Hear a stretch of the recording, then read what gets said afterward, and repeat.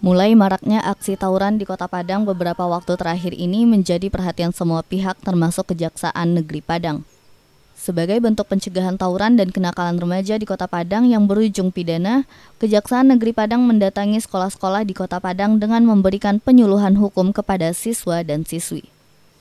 Kepala Kejaksaan Negeri Padang Muhammad Fatria Senin pagi di SMP Negeri 13 Padang menjelaskan, saat ini banyak anak sekolah melakukan aksi tawuran yang mengarah kepada tindakan pidana. Karena tidak sedikit yang ditemukan membawa senjata tajam seperti celurit, pisau, gear, serta senjata tajam lainnya.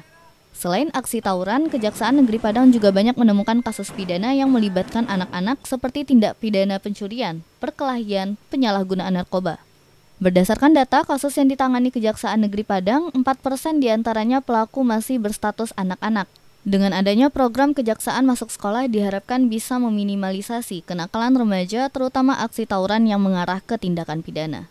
Eh, pertama-tama kita uh, melakukan kunjungan ke sekolah sekolah. Hmm. Untuk hari ini secara serentak di enam sekolah di SMP uh, eh, dilatar belakangi oleh banyaknya kasus kenakalan remaja terjadi di Padang. Hmm. Antara lain ada tawuran, ada perbuatan cabul, ada juga uh, pencurian dan kenakalan remaja lah khususnya.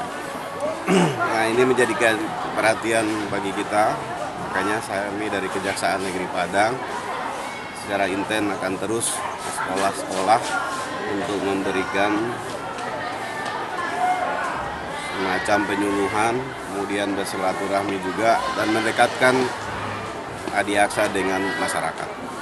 Syawaludin, Padang TV.